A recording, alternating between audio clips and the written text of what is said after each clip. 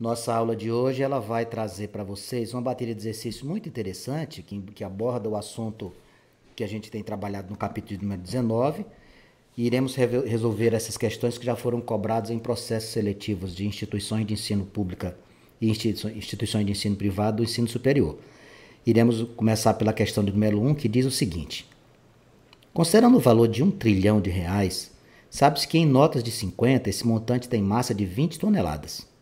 Com base nessas informações, pode-se afirmar corretamente que a quantidade de notas de 50 necessária para pagar um carro de 24 mil reais tem qual massa? Olha que questão interessante. Ele está relacionando o valor das cédulas de 50 com a sua massa. Aí ele coloca para nós lá uma quantidade de 20 mil toneladas, dizendo que essa relação com as notas de 50, qual seria a quantidade de notas em massa para você pagar um carro que custa 24 mil reais. Isso aqui não tem fórmula, isso aqui é uma proporção. O que é que eu deveria fazer? Primeiro passo que a gente tem que fazer é trabalhar com as informações que foram fornecidas. Um trilhão. Quando eu falo em um trilhão, eu preciso me, me referir a quem? A uma potência de base 10. Vamos, por exemplo, falar aqui. Quando eu falo em um milhão, preste atenção. Eu sei que é o 10 elevado a 6. Quando eu falo em um bilhão, eu vou aumentando sempre três, três dígitos no expoente. 10 elevado a nona. Quando eu falo em um trilhão, eu estou me referindo a qual potência? 10 elevado a 12. Então, a primeira coisa que você tinha que fazer era fazer esta relação. 10 elevado a 12. Tá. Isso aqui é o dinheiro, um trilhão de reais. Ele diz que isso em cédula de 50 te dá uma massa de 20 mil toneladas. 20 mil toneladas. Uma tonelada são quantos quilogramas? Uma tonelada são mil quilogramas. Então, mil quilogramas seria o quê? 10 a terceira. Então, quando você for trabalhar com 20 toneladas, o 20 mil, 20 mil, você deve multiplicar com 10 a terceira. Vamos, como é que você vai escrever esse número? Você vai pegar o 2. Quantos zeros tem aqui? 1, 2, 3, 4. Com 10 a terceira, você vai ficar 2, 10 com quanto no expoente? 7. Você vai pegar os quatro zeros que você tem no 20 mil e acrescentá-los no expoente da potência de base 10. Então, você vai ter 2 vezes 10 a 7 quilogramas, correspondente a 10 elevado a 12 trilhão de reais. Com essas informações, você começa a fazer o exercício. Então, você deve ter percebido da importância de verificar as unidades a serem trabalhadas. Qual seria a regra de 3 que eu iria utilizar aqui? Você faz assim, ó. 10 elevado a 12 corresponde a quê? A 2 vezes 10 elevado a 7 quilogramas. Quanto que você vai comprar o carro? Vanks, o carro que eu quero comprar é de 24 mil reais. Como é que eu vou representar 24 mil? Bom, o 24 mil, caros amigos, você vai fazer assim, ó, 24 vezes 10. Quantos zeros tem aqui? 3. Então, em vez de você escrever 24 mil, a sugestão que eu lhe dou é que você já deixe na forma de potência, porque facilita seu trabalho. Então vai ficar assim, ó, 24 vezes 10 a terceira está para x. A, a partir daqui, o que é que eu vou fazer? Produto dos meios igual a produto dos extremos. Vai ficar assim, ó. 10 elevado a 12 vezes x igual 24 vezes 2 a 48. 10 a terceira vezes quem? 10 a terceira vezes 10 elevado a 7. 10 elevado a 12x igual a 48 vezes 10 elevado a 10. Jogue esse 10 elevado a 12 dividindo a expressão. 10 elevado a 10, 10 elevado a 12. Como é que a gente deve proceder numa divisão cuja potência pertence ao denominador? Você pega esse, essa potência, joga para o numerador com expoente trocado. Fica assim, ó. 48 vezes 10 elevado a 10. O 10 elevado a 12 sobe 10 a menos 12. x vai ser igual a 48 vezes produto de potências de mesma base, nós devemos repetir a base e somar os expoentes. Quando eu somar 10 com menos 12, dá menos 2. Vanks, como é que a gente escreve isso em número decimal? Se eu tenho 10 a menos 2, eu vou puxar a vírgula para a esquerda duas casas. Eu tenho o número 48, não tem? Então fica aqui, ó, uma, duas. Aí você coloca a vírgula aqui. Como não existe o número vírgula 48, você coloca um zero aqui. Então, minha resposta seria quanto? 0,48 e eu iria marcar na primeira questão do Enem e vestibulares a letra B de bola.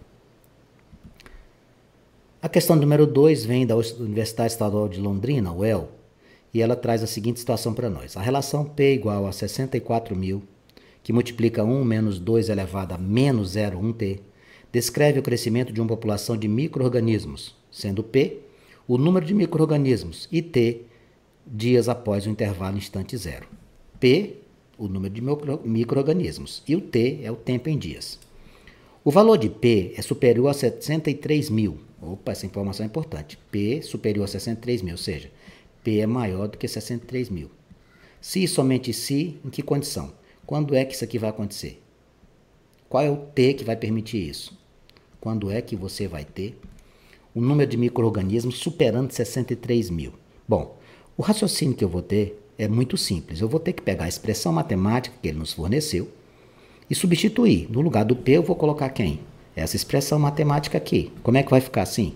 Vai ficar assim, ó. 64 mil, que multiplica 1 menos 2 elevado a menos 0,1t, fecha, maior que quem?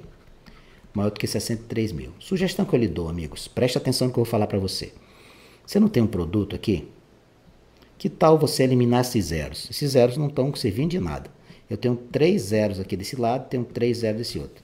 Para que, que você fez isso, Vanks? Para facilitar seu cálculo, para você trabalhar com um número, melhor trabalhar com 64 do que com 64 mil. O que, que você vai fazer com esse 64? Eu vou fazer uma propriedade distributiva aqui. 64 vezes 1 menos 64 que multiplica quem? 2 elevado a menos 0,1t. Tudo isso maior do que quem? Isso aqui tudo é maior do que 63. Vamos fazer o seguinte. Você deixa de um lado os números do jeito que você achar que é mais conveniente para poder trabalhar numa inequação cancelamento de suas bases. Olha a sugestão que eu vou lhe dar. Você vai pegar essa expressão aqui, 64 vezes 2, que está negativo, passar para o segundo membro. E vai pegar o 63 e passar para o primeiro. Vai ficar assim, ó, 64 menos 63 maior do que 64 vezes 2 elevado a menos 0,1 vezes t. 64 menos 63 dá 1. 64 vezes 2 elevado a menos 0,1t. Vanks, agora fiquei enrolado. O que é que eu vou fazer? Que tal você transformar esse 64 numa potência? Se você pegar o 64 e efetuar a sua fatoração, vai ficar 32, 16, 8, 4, 2, 1. 1, 2, 3, 4, 5, 6 vezes aparece o 2. Então vai ficar 2A sexta vezes 2 menos 0,1t. Qual é o procedimento no produto de potência de mesma base? Nós repetimos a base e somamos os expoentes. Vai ficar 6 somado com menos 0,1t. Pronto. Para eu resolver uma inequação exponencial, eu necessito de encontrar as bases iguais para poder cancelar e trabalhar somente com os expoentes. Agora eu fiquei enrolado, Vanks. Como é que eu vou fazer aqui? Lembre-se o seguinte: qualquer número elevado a zero vale 1. A elevado a zero é igual a 1. Então eu posso escolher a base que eu quiser. Qual a base que eu preciso aqui? É o 2. Então o 1 não é 2 elevado a zero? Pronto. 2 elevado a zero. Aqui vai ficar 2, 6 menos 0,1 t. O que, é que você vai fazer aqui? Cancele as bases. Ao cancelar as bases, amigos, você vai ficar com 0 maior que 6 menos 0,1t. Joga esse 0,1t para o primeiro membro, vai ficar positivo. 0,1t maior do que 6. t maior do que 6, passa o 0,1 que está multiplicando como? Dividindo. Como é que se divide um número como o 6 por 0,1? Elimine uma casa, fica 1, e coloque um zero no numerador.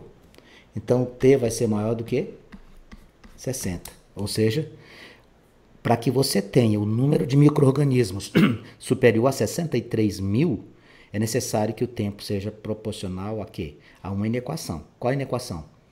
T maior do que 60 dias. Você ia marcar o quê? A letra D de dado. Nossa, Van, que questão linda. Questão número 3 diz o seguinte. Qualquer quantidade de massa de chumbo 210 diminui em função do tempo devido à desintegração radioativa. Quando você estudar química, a parte de radioatividade, você vai encontrar no estudo de química uma abordagem chamada meia-vida dos materiais radioativos. Passado determinado período, uma amostra de um material radioativo ele é reduzido pela metade. Por exemplo, eu digo assim, a meia-vida do elemento radioativo X é de dois anos. Então, após dois anos, o que você tinha reduz pela metade. Dois anos depois, reduz pela metade. Dois anos depois, reduz pela metade. Isso chama-se meia-vida. É a desintegração radioativa de partículas que a gente tem nos elementos como, por exemplo, o urânio. Então ele coloca aqui, ó. Essa variação pode ser descrita pela função exponencial mt igual a m0 que multiplica 2 menos kt. Tá, que aqui tem o resto. Nessa sentença, mt a massa em gramas no tempo em anos. M0 é a massa inicial e K é uma constante. Sabendo-se que após 66 anos tem-se apenas 1,1 oitavo da massa, qual o valor do K? Bom, eu vou pegar a expressão que ele me deu e vou escrever, reescrevê-la, aliás. MT é igual a quem? M0 que multiplica 2 elevado a menos KT. Você está atrás desse tal de K aqui, ó. Qual foi a massa que ele disse que restou? 1 sobre 8. Igual. O que, que você vai colocar aqui? A massa original, como eu não sei quanto que é, eu vou fazer, ó, massa original 1 e o que restou? 1 sobre 8, tá bom? Ó, era 1, ficou 1 sobre 8. Vezes 2 elevado a menos k vezes... Qual é o tempo que ele falou que passou? Ele disse que após 66 anos. Então, 66. Vanx, o que é, que é 1, 1 sobre 8? É 1 sobre 2 a terceira. 1 sobre 2 a terceira, tá? Aqui eu vou multiplicar, vai ficar igual a 2 elevado a quanto? menos 66K. Vamos ver se você lembra desse detalhe. Uma potência no denominador, cuja fração tem o numerador 1, você vai pegar essa potência e escrevê-la com sinal negativo. Isso aqui é a mesma coisa de 2 a menos 3. Pronto. Aqui do outro lado você tem menos 66K.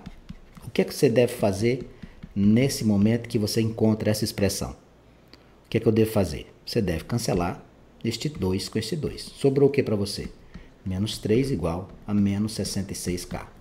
Multiplique por menos 1, porque todo mundo é negativo, você vai ficar com 3 igual a 66K. O 66 deve passar dividindo. 3 sobre 66 igual a K. Você pode simplificar ambos por 3. Então, quanto é que vai ser o seu K? 3 por 3 dá 1. 63 por 3 dá 22.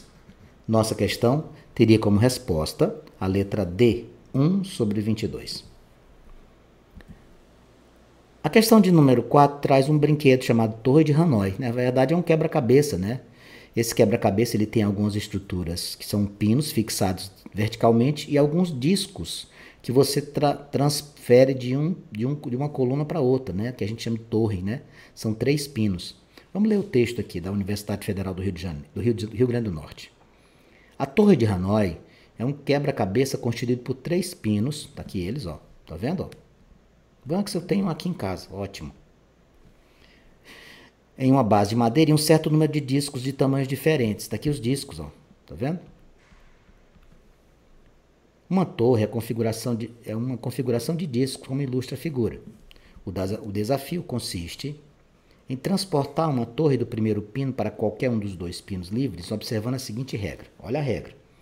Os discos são transportados um a um, não sendo permitido colocar um disco maior sobre o menor em nenhum dos pinos. Então, você não pode transferir um pino menor e depois colocar sobre ele um maior. Sabe-se que N é o número de discos encaixados em um pino. O número mínimo de jogadas para se transportar, essa torre para outro pino é dado pela expressão 2 elevado a n menos 1. Opa, 2 elevado a n menos 1. Isso aqui é a quantidade de jogadas. Se um jogador faz uma jogada a cada 10 segundos, uma jogada a cada 10 segundos.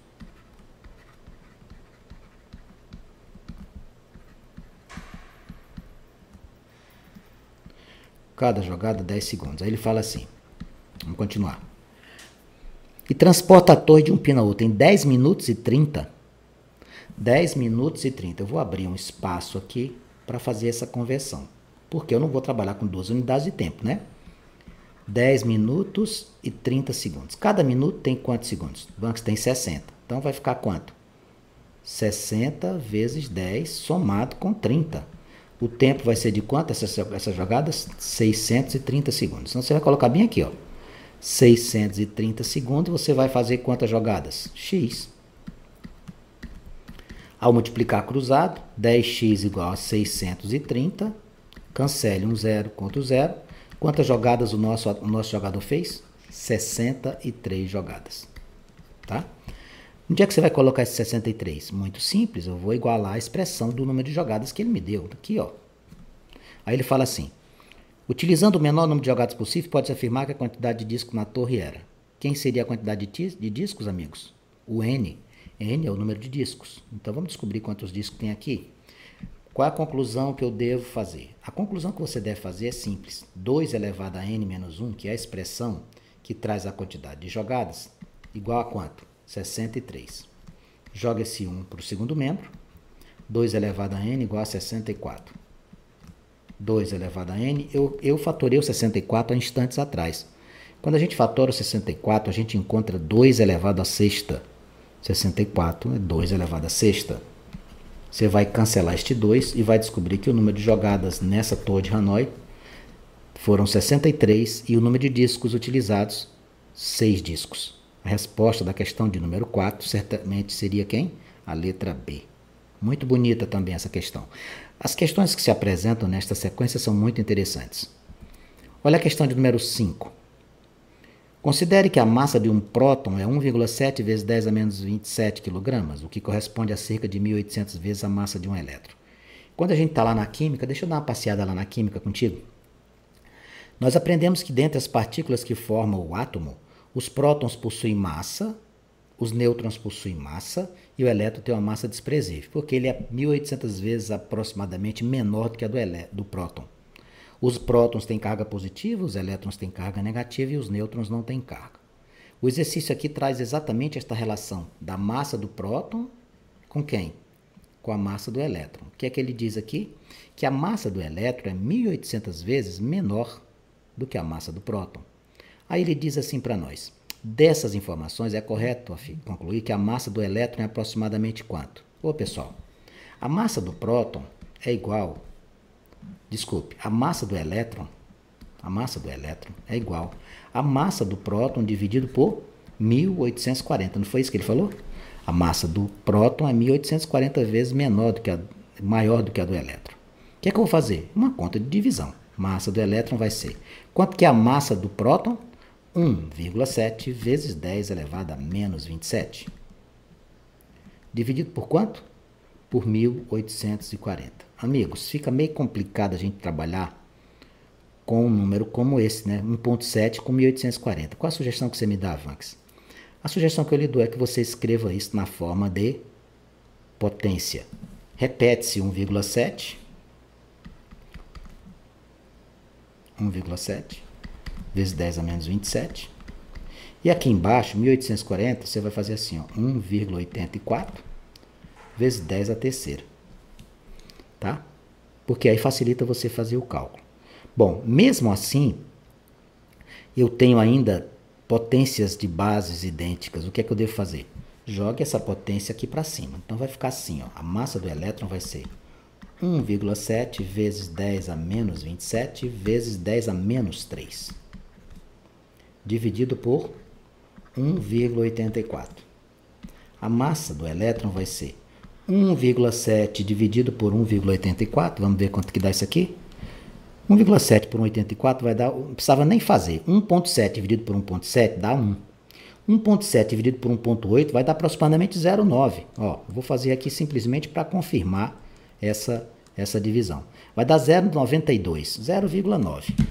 0,9 vezes 10 a menos 27 com 10 a menos 3 é a mesma coisa de 10 a menos 30, porque você repete a base e soma os expoentes. Então, na questão de número 5, eu vou procurar uma alternativa que diga que a massa de um elétron é 0,9 vezes 10 a menos 30 kg. Eu iria marcar para efeito de resposta a letra B de bola na questão de número 5. A questão número 6 traz um texto falando sobre automedicação. Isso aqui é bem comum na população brasileira, né? se automedicar. Ah, mas a dona Maria tomou o remédio e tal, ficou boa, eu vou tomar também. Não é assim, a gente tem que procurar médico. Automedicação é considerada um risco, pois a utilização desnecessária ou equivocada de um medicamento pode comprometer a saúde do usuário. Substâncias ingeridas difundem-se pelos líquidos e tecidos do corpo, exercendo efeito benéfico ou maléfico. Isso aqui é uma informação que vai influenciar no cálculo matemático? Não, isso aqui é só, só para acrescentar informações, conhecimentos extras. Depois de se administrar determinado medicamento a um grupo de indivíduos, verificou-se que a concentração Y de certa substância em seus organismos alterava-se em função do tempo decorrido, de acordo com a expressão. Bom, vamos escrever essa expressão, Y igual a Y0, que multiplica 2 elevado a menos 0,5t. Essa aqui é a expressão, é a condição dada, né? Aí ele diz assim, y0 é a concentração inicial, tá, o T é o tempo. Nessas circunstâncias, pode-se afirmar que a concentração da substância tornou-se a quarta parte. Tornou-se a quarta parte, ou seja, olha a informação aqui, preste atenção que, é que eu vou fazer. Tornar-se a quarta parte é você pegar o que você tinha e dividir por 4. Tornar-se a terça parte, a parte original dividido por 3. Então, quanto é que vai ser meu y? Vai ser o que eu tinha inicialmente dividido por 4. Isso aqui não está escrito no texto, você tem que deduzir. Então, como é que eu vou montar a resolução desse exercício. Eu vou substituir, vai ficar como? y0 sobre 4 igual a y0, que multiplica quem? 2 menos quem? Elevado a quanto? Menos 0,5t. Eu posso cancelar aqui, amigos. Ó. Aqui fica 1, aqui fica 1.